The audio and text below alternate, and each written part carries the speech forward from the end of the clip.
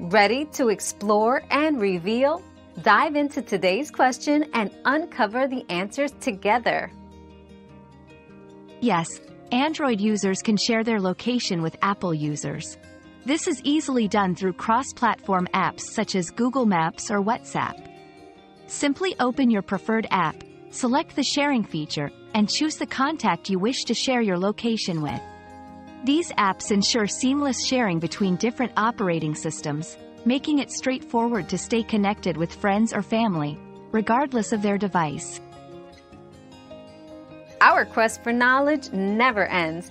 Thanks for being part of today's discovery. Subscribe, like, and share to join us on the next one.